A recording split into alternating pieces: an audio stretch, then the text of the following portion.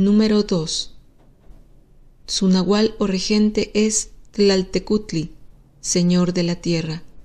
Su ave preciosa es el colibrí de cola. Nombre náhuatl, Ome. Nombre maya, Ka.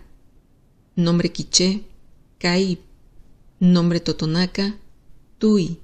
Nombre zapoteca, Chupa. Nombre mixteca, Uwi. Nombre otomí, Yojo. El 2 representa la ambigüedad, favorece los aspectos positivos y negativos del signo al que acompaña, sugiere resolver un dilema o elegir entre posibilidades. Su consejo es tomar decisiones y concentrar el esfuerzo. El signo de muerte es el sexto de la veintena. Su nahual o regente es Tecusistecatl, el caracol marino. Se orienta al norte. Su elemento es el aire y su color el blanco. Su horario de máximo efecto es la medianoche. Su componente humano, la mente. Nombre náhuatl, Miquistli. Nombre maya, Quimí. Nombre quiché, Camé. Nombre totonaca, Ninin. Nombre zapoteca, Lana. Nombre mixteca, Magua.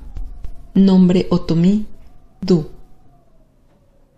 El signo de muerte representa los cambios, las modificaciones físicas, emocionales y mentales, la renovación de las cosas, la apertura a nuevas realidades y relaciones el renacimiento espiritual y la liberación de las ataduras.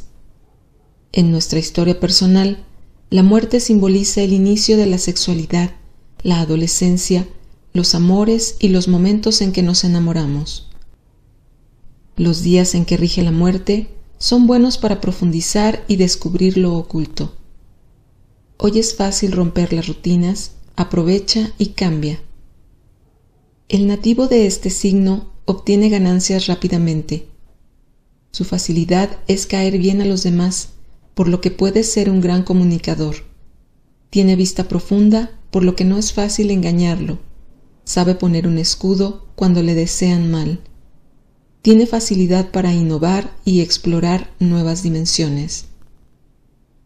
En el aspecto negativo, quienes aquí nacen pierden tan rápido como ganan y tienden a preocuparse en exceso, a caer en la melancolía, el desánimo, la depresión, el olvido y la tristeza.